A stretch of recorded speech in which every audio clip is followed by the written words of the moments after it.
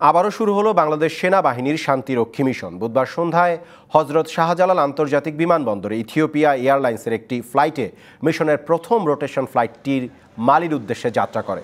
সেনাবাহিনীর তিনটি কন্টিনজেন্টের উনত্রিশ জন অফিসার জন জেসিও এবং বিরানব্বই জন সেনা সদস্য সহ মোট একশো একত্রিশ জন যাত্রা করে। করোনা পরিস্থিতির কারণে চার মাস শান্তিরক্ষীদের কার্যক্রম স্থগিত ছিল। এমন পরিস্থিতিতে জাতিসংঘ ডিসেম্বর দু হাজার বিশ পর্যন্ত একটি নির্দেশিকা প্রদান করে।